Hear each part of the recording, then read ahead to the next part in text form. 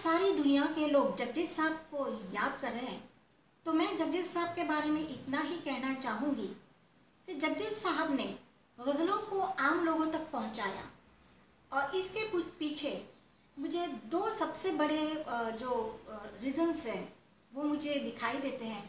सबसे पहली बात तो ये कि जो काफ़ी सालों से चला आता था कि गज़लों की बिल्कुल क्लासिकल गायकी में जो गाते थे उससे हटकर जगजीत साहब ने बड़ी आसान धुनों में गज़लों को कंपोज किया।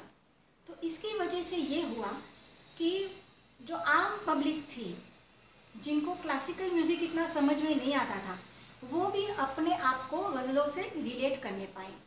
और क्योंकि वो धुनें आसान थी तो लोग भी गुनगुनाने लगे। दूसरी बात ये थी कि जगजीत साहब ने जो गज़लों का इंतखब किया वो ज़बान भी काफ़ी आसान थी।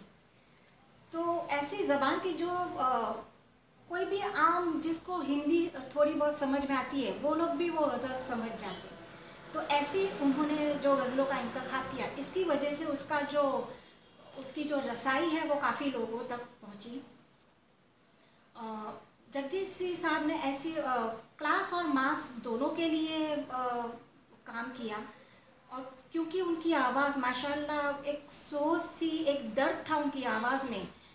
तो वो जब गाते थे तो सीधा यहाँ वो लगता था। तो इसकी वजह से वो क्लास तक भी पहुँच पाए। और जैसे मैंने कहा कि आम लोगों तक पहुँचे because of the easy tunes and easy words तो इसकी वजह से वो मास तक भी पहुँचे। और मुझे एक बात जो नज़र आती है, वो ये है कि बहुत बड़ा काम, एक नेक काम करके जगजीत साहब गए हैं और वो ये है कि आज उनकी गाई हुई गज़लों को काफ़ी प्रोफेशनल और नॉन प्रोफेशनल सिंगर्स गाते हैं और अपना घर चलाते हैं। तो आई थिंक ये बहुत बड़ा जगजीत साहब ने काम किया है।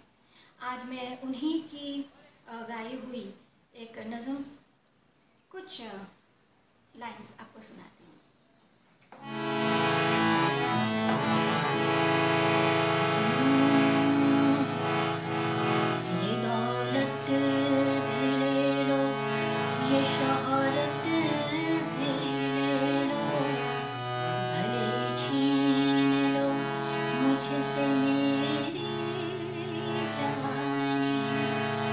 day noche